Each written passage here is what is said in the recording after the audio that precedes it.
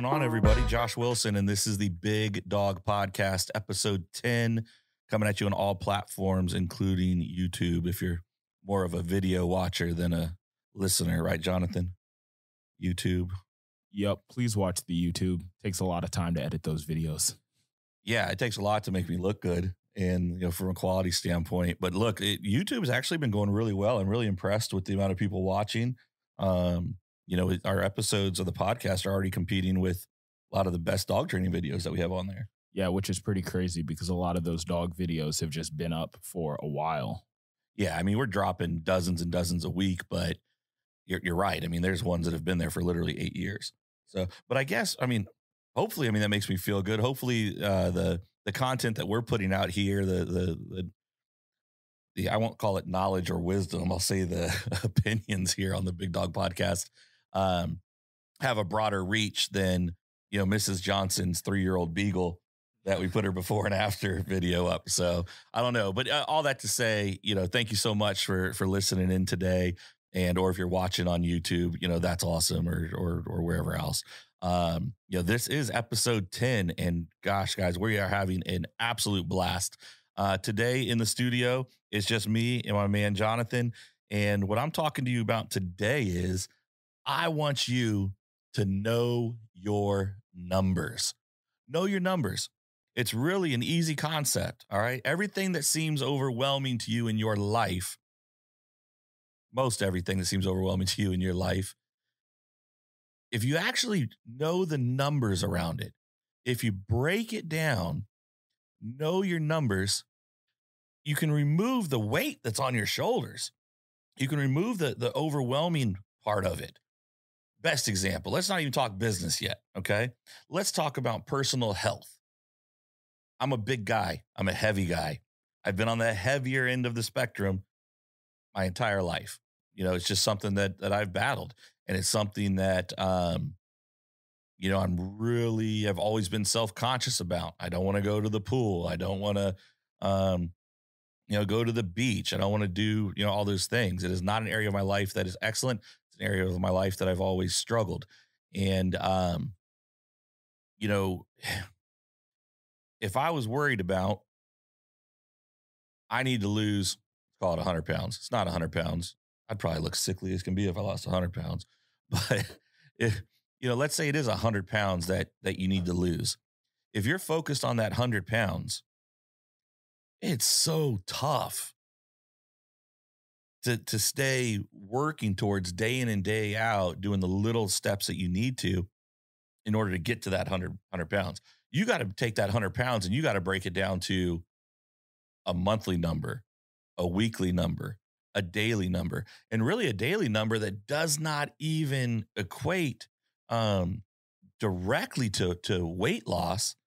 You need to know the number as far as maybe just how many steps you need to take each day how many uh, calories you need to be taking in based on how many calories you burn on a typical day. If you know those numbers down to a day and all you got to focus on is that that daily task that meet those daily requirements, God willing, you're waking up tomorrow anyway. And you can now focus on that day. Focus on that day. You're doing these things anyway.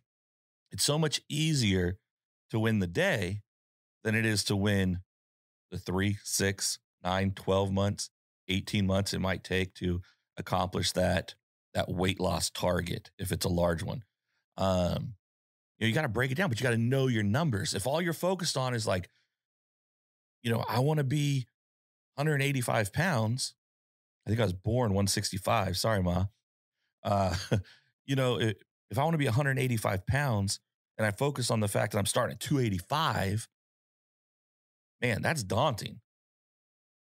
But if my focus is on, I got to get my workout in today, I've got to get this many steps today, and I'm just plugging along and knocking that out, boom, the day is done.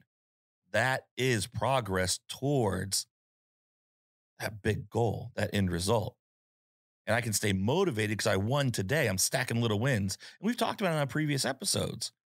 You know, everybody wants to stay focused on the huge goal and chase the big goal. And when you miss it, it's devastating. So why not stack these little goals? Boom, boom, boom, boom, boom, as you work your way towards it. Because everything difficult is going to take work. Everything worth it's going to take work. Nothing's easy that's worthwhile, right? So, from a business standpoint, it's the same thing. Know your numbers. Know, people like, Josh, my business isn't growing. I, I see your dog training business is doing well. I see your your boarding and daycare business is growing going well. You're you're advertising to hire people. You clearly you're not looking to hire people if you're not growing, you're not experiencing exponential growth. How are you doing that? You know, we want to grow, we're doing a good job, but we're just not getting anywhere. What are your numbers? Talk to me about your numbers. the first thing I ask for. Well, you know, we want to do $300,000 in sales this year. All right, cool. What are you spending on advertising? What are you, um, how many trainers or how many employees does it you need for your business to do $300,000 in sales this year?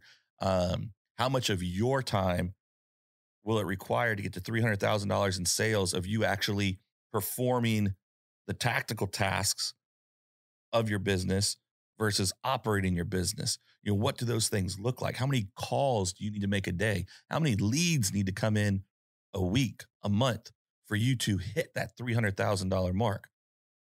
If you need to do $300,000 in sales for your business to take care of your staff, and I'm just eh, 300 it's just a number. We could say 3 billion. It it really doesn't matter. $300,000 to take care of your family, to cover your overhead of your expenses. Maybe you got an employee or two or more what are you doing to get to that 300,000? Most often I hear, I don't know, that's just where we need to be.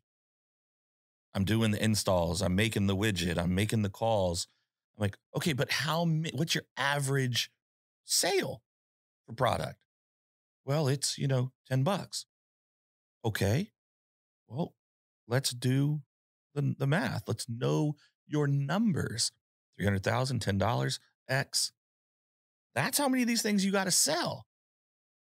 Okay, your your product, your service is a thousand dollars a transaction. 300,000 is what you need gross revenue. Well, it's kind of easy. Right? We need 300 of these transactions this year to get it done.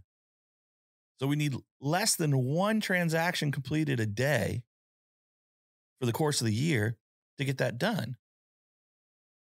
How many leads does it take for you to get to one sale to win transition?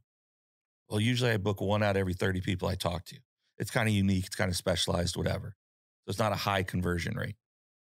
All right. Is it not a high conversion rate because we're not targeting the right people? We're not putting the, the marketing dollars towards the right place? Or, and so you're getting bad, bad leads? Or is it no, these are the ideal things and it legitimately does take 30 people to get to that one average sale? The problem is when I talk to other business owners out there, they don't know their numbers. They don't know what that takes. Once you get that map built out, though, man, it, it's amazing how the the focus shifts. It's amazing how the results change when you get dialed in and focused on your numbers. They can't be my numbers. They can't be Jonathan's numbers. They got to be your numbers for your scenario, for your situation, for your job, for your company, for your health, for, I mean, guys, this could be anything. This could be how much time do I really need to make sure I'm spending with my kids each week? Reverse engineer that. What does your day at work have to look like so that you can make sure you have the amount of quality time you want with your family day in and day out? Just build it backwards. Have the end goal in mind, know what that is, and then start breaking it down layer by layer by layer. So, let me give you a practical example of what something that I do and really it's it's a document that I that I live in. Um, and it is one of the primary things that I'm responsible for uh, in the running of my businesses. Um, you know, we call it the roadmap. and it is the roadmap to, you know, it's it's a it's a revenue goal. You know, being honest with you, that is our target, and it's not because I need to hit this target for personal financial gain or anything like that. It has nothing to do with that. Day in and day out, I see the impact that um, as we grow, we're able to have on clients' lives. And I want to be able to duplicate that experience over and over and over again because I believe without a doubt that the experience our clients have, whether it's with our dog training or it's with our boarding and daycare, it is an exceptional experience and is the very best experience people with the need for those services are going to have where I offer those services. Hands down. I believe that. I'll say it. I don't care.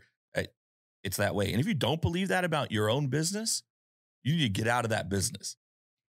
You got to just stop doing it. You've got to believe that what you're doing is the best. That is the best opportunity for that client. Okay. And so I want to do that for more people as long as we're not sacrificing the experience, the quality of the service that we're delivering. I want to continue to grow. So I'm going to grow as fast as I can find great human beings. All right. But I know there is a certain target where I want to be at in the next two years. And what I've done is I've taken that down to what it looks like specifically here in 2021. And I've broken it down like for the year, it's broken down for the month, it's broken down by the week, it's broken down to the day. And I know specifically what we need to do on a daily basis to put ourselves in a situation to hit that goal a year from now, and in turn, to hit that goal two years from now. And I promise you that over the next six months, 12 months, and 18 months, that goal I have two years from now is getting pushed out further. Because I'm going to see there's additional opportunities for us. And the amount of families that we can impact with the services that we provide, that fires me up. That keeps me motivated. That keeps me wanting to improve. The amount of families' lives that we can change by growing our team and giving professional opportunities for people who may, have, may not have thought they could make an incredible living working with dogs day in and day out, being outside, not stuck to a desk, a great living with a ton of flexibility, and see immediate results for their efforts and actions. And families that are just ecstatic because what was a massive stressor on their lives is now a loving, caring, contributing member of the family who can be an active part of that family and not just a dog who's stuck in a crate 10 hours a day and gets out to eat and go to the bathroom and then back in the kennel because it's acting like a fool running around the house. And because everybody is like like us and you, you know, stressed out, maxed out, giving everything to work and to whatever. And you get home and you just like, oh, can't deal with this dog. So what do we do? Every day, feed it, let it go to the bathroom, put it in the crate. I just don't got the energy for that right now. No, screw that. You've got the energy for it. You just got the animal. You don't want to put the time in to getting that animal where it can be a productive member of your family. That's what we do. When our dogs are done training with us and we're done teaching our clients, if they're not including the dog in an activity every day of their life, it's just because it's not appropriate for the dog. It has zero to do with the dog's ability to be an active member of that family and a well behaved member of that family. So that's where I get fired up because as we grow, I'm not just impacting clients' families, I'm impacting employees' families, staff. We got new opportunities as we continue to grow, people to transition from training roles to marketing and sales and videography and and you know podcasts and all these things. That fires me up. I know my numbers. When we have a bad day, that's okay. That day's dead to me. It sucks. I've moved on. I'm not overwhelmed of this massive goal that people carry and they say so focused on it when they fall short, like I'm never going to hit that. You got to know your numbers. You got to break them down and know what you got to do every day to chip away at it, chip away at it, chip away at it, chip away at it. And next thing you know, holy shit, we're way ahead of schedule. It's crazy how this happens over and over and over again when I'm talking to business owners, when I'm talking to salespeople. get to know your numbers. Get get incredibly passionate about your numbers. Become a psychopath about your numbers. Become obsessive about your numbers. This works in every aspect of your life. Every aspect.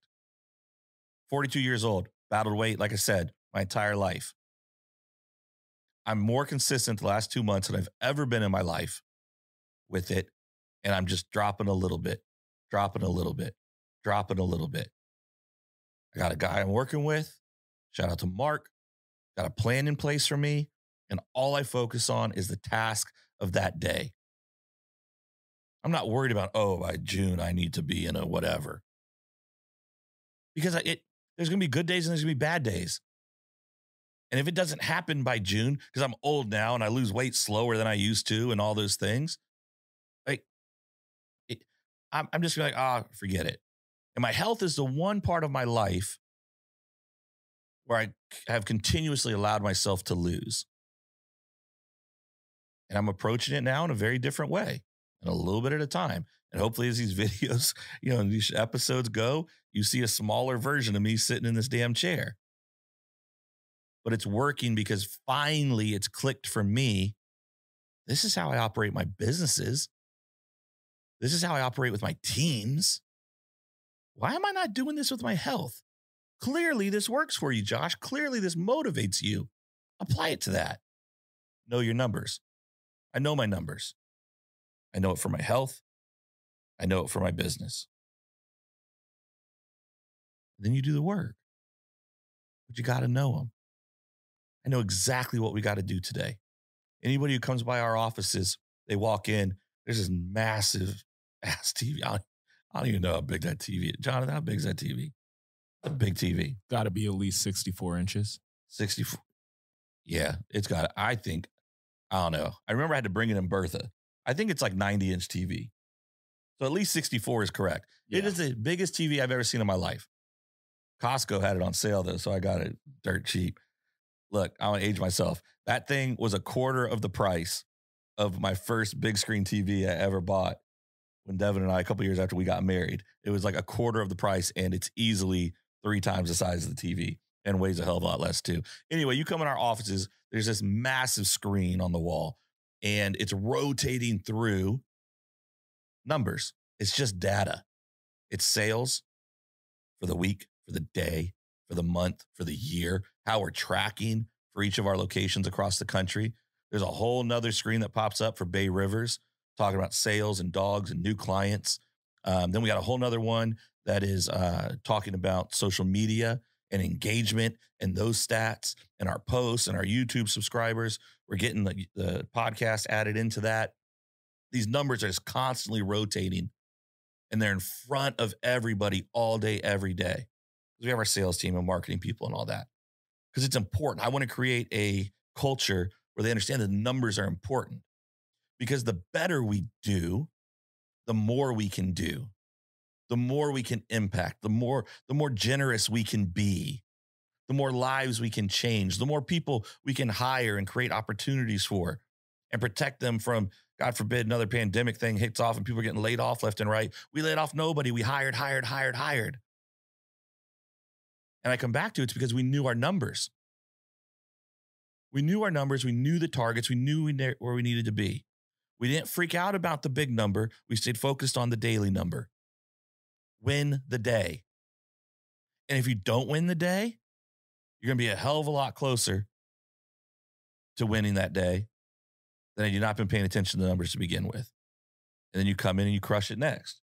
What's up, Jonathan? Yeah, I think that it's what you're saying is really important because you're speaking about winning the day. And I think it comes down to even smaller than that, just winning the moments. Because when you break, mm. it's like when we were all in school at one point, we thought, oh, I have an hour left in class well, that's two 30 minute periods. And now, oh, that's four 15 minute periods. Yep. And when you start to do that with your business, you have a large number monetarily that gets broken down into a number of transactions. Yeah. That gets broken down into a number of clients. And really, when you break that down further, you get a number of moments in which you need to win to 100%. be successful. Yeah, that's good. That's good.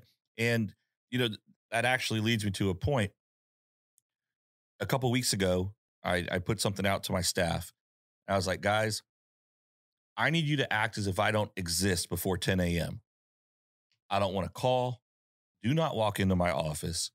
Do not text me unless literally it is an emergency. Like something it like something happened to a dog. Uh, our building is on fire. You need me to leave so I don't die. Um, a literal emergency. There is no reason to text me, call me, walk into my office. Because from 5 a.m. to 10 a.m., I feel like that's where I'm best.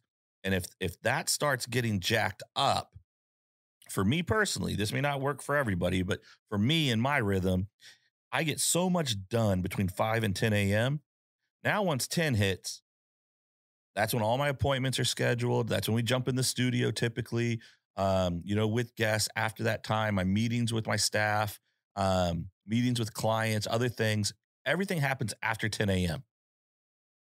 And if I can be focused from five to 10, I'm good for what the day brings. Because when you when you run it, I don't care what size your organization is, you're, you got your own business, and you're you're the boss, you're the owner. Your your sole responsibility is you're pissing on fires all day, literally. It's just problem.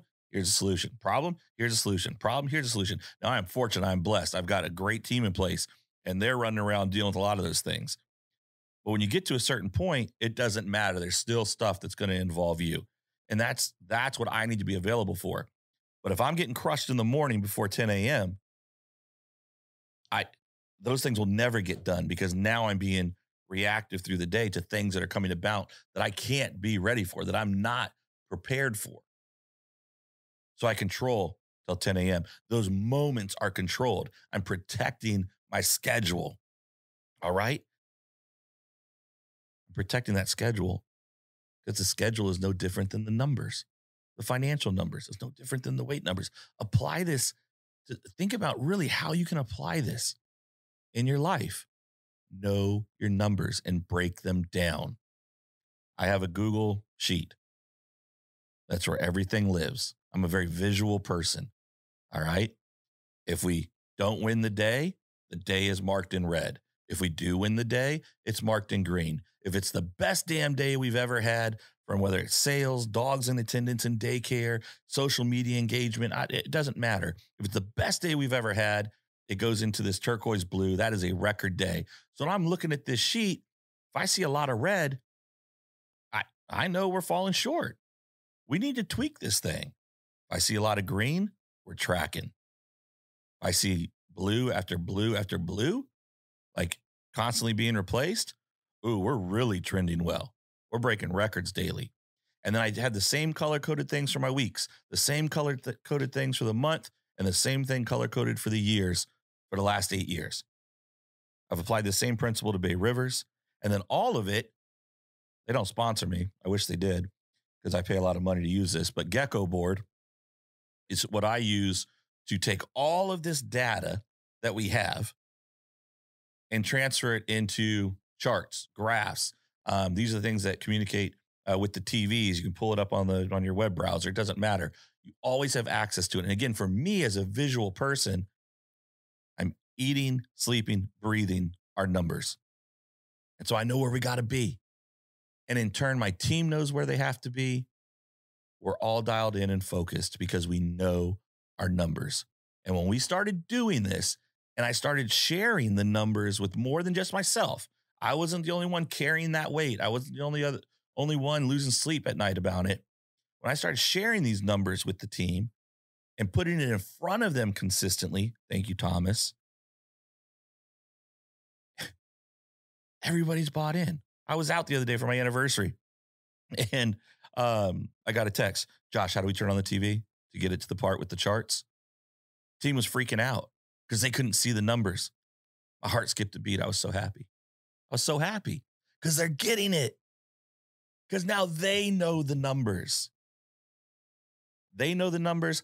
I damn sure know the numbers. We're accomplishing our goals. And if we're not, we're tweaking what we need to do to make sure that we are. Figure out your numbers, know your numbers, study your numbers. Don't just do this little this little task and break it down and work backwards like I've been walking you through and then do nothing with it. You need to study it, become obsessed with it, stay focused on it. I promise you. I promise you, one of two things are going to happen. It's either going to lead you to a lot of broken processes and systems within your business. So you're going to tweak things, you're going to reevaluate, you're going to adjust, you're going to implement uh, new strategies and new systems because what you think you're doing that is working towards getting you to that goal you want to be at, you're going to find out it isn't because you're looking at it in little tiny pieces. So you can make those adjustments. And you're also going to ultimately end up blowing by those goals or figuring out what really is a realistic goal for you because you've broken it down like this and seen is this realistic? A lot of you, you have a goal. You know, again, I come back to the three hundred thousand dollar. No, let's say it's three thousand, three hundred thousand in revenue. You know, and you're selling, you know, ten products a month that cost twenty five dollars. That's the retail price on it, twenty five bucks. How the hell you get to three hundred thousand dollars selling ten or twenty of these things a month? It's never going to happen, and you're wondering why you're not accomplishing your goal man because you don't know you don't know what's realistic you don't even know your numbers at all. Know your numbers. Break them down. Study them. Become obsessed with them and then win so damn big you can do a whole lot more with it. Know your numbers. I love you. I appreciate you listening. Get into your numbers. It's so important. If you got questions about this um, hit me up dms on instagram Email us at bigdogpodcast at joshwilson.dog. Um, anywhere on social. I mean, you hit us up and, you know, we can set up a call. I can walk, I can dig into this with you a little bit deeper. I can show you a template of the sheets that we use because it literally can be applied to any industry, any aspect of your life. And it'll give you a little roadmap. That's our roadmap. And I'm happy to share it with you too. Hit us up, leave a review, subscribe. If there's somebody you know that would benefit from what you heard today, share the podcast with them. Let us know how we're doing or what else you'd like to hear about. And, you know, we're going to keep on getting in the studio and hopefully sharing a little bit of our knowledge. I'll keep saying opinions. I don't know how knowledgeable we are. Yeah, I would go with that. All right, guys. We'll see you next time on the Big Dog Podcast.